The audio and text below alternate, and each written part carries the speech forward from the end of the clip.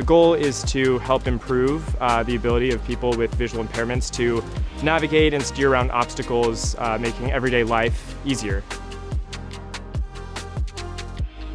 We've developed a device which extends the abilities of the white cane by adding sensors to help perceive the environment and then relay that information to the user. The standard cane is basically a stick. I mean, it really is a stick. The, the most recent innovation uh, that I know of is that it, some of them fold, like this one does. But Patrick's new cane, there are sensors that detect obstacles in the user's environment. So as I'm walking, it'll detect that there's, let's say, a lamppost or a corner or a trash can or something that I'm about to bump into, and it'll sort of nudge me away from it as I start to approach it. We have a LiDAR, which measures distance to the object around the person. We have GPS, which measures the position in the outdoor setting. We have an inertial measurement unit, which allows us to measure the position and orientation of the person. And then we have a camera, which allows us to understand images of where they are, and so we can define key objects.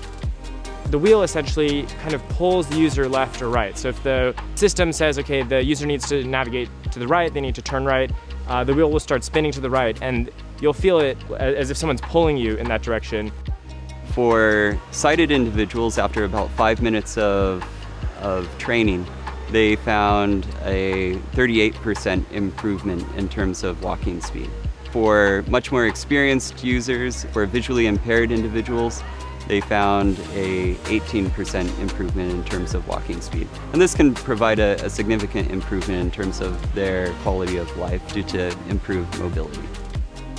This project leverages sensors developed for autonomous vehicles and also AI and algorithms developed for uh, safe vehicle driving. And it's really neat to be able to see ideas from this industry percolate to other domains, including the creation of, of this walking cane.